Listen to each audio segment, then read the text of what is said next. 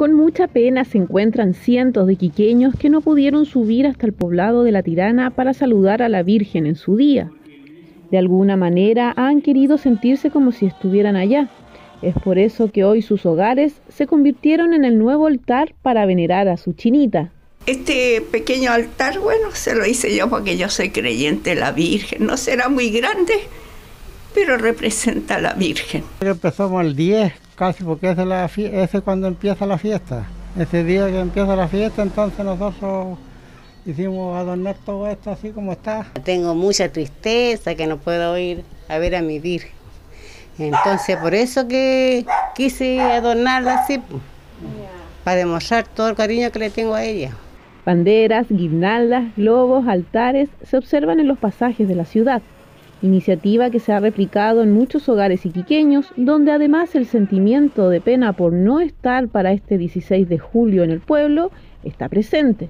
Es fuerte porque uno de voto, puta, yo soy de chiquitita que a la tirana.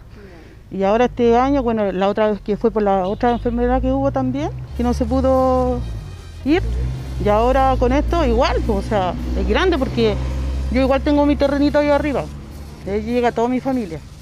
Y ya compartimos todo, todo, todo. Así que imagínense. ¿Y cómo lo van a hacer este año? Mire, nosotros del día 10, que se hizo una misa acá, porque es la entrada de los bailes de la tirana, ¿me entiendes? Lo hicimos acá, al lado de la vecina, se le hizo una misa, un reposo, o sea, y lo otro, que ¿cómo se llama? Se, va a hacer chocolate, ¿entiendes? Entre los vecinos se conformaron para poder hacer este tipo de adorno para, la, para presentar en el día de, del Día de la Chinita. Para que la comunidad vea que está presente en nuestro, en nuestro sector, eh, se tomó la, decisión que espero que le guste mucho a la comunidad de, tener nuestra, nuestra Virgencita ahí en un altar en la sede social. En la Villa Olímpica conocimos a María, una devota de la Virgen que se emociona al recordar que este año no podrá ir hasta el santuario como todos los años. Ella también le hizo un altar en su casa.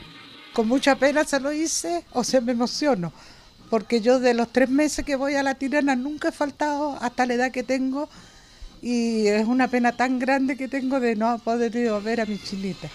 Y yo la he visto, más de 40 años que he visto a la Virgen de los Moneros Cabanche, pero una pena inmensa. Le toco todo el día su música y la gente la viene a saludar, todo, pero emocionada terrible porque es una pena tan grande que uno no, no podemos subir. Esta vecina quiere hacer en Iquique todo lo que acostumbra hacer en el pueblo. Es por eso que ofrecerá un presente a los vecinos del sector. Todos los años le hago chocolate a los bailarines allá el día del alba y acaso lo voy a hacer igual.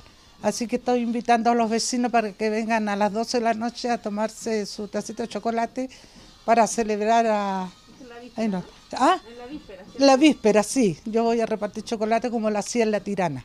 María comenta muy emocionada que no hay día que no lamente el no poder estar en la tirana como todos los años.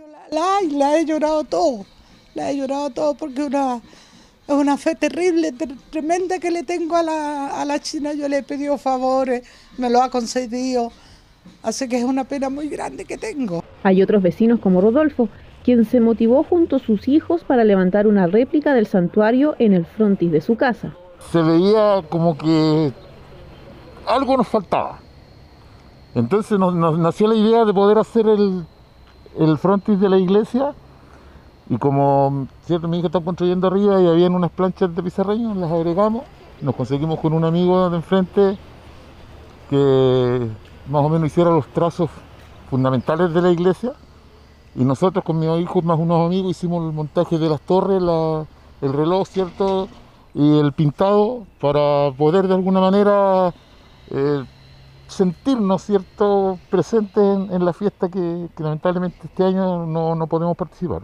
En muchas calles y pasajes de Iquique se replica este tipo de iniciativas. Todo con el fin de poder sentirse como si estuvieran en el santuario y esperando que el próximo año puedan reencontrarse con su reina del Tamarugal. Más, nuestra súplica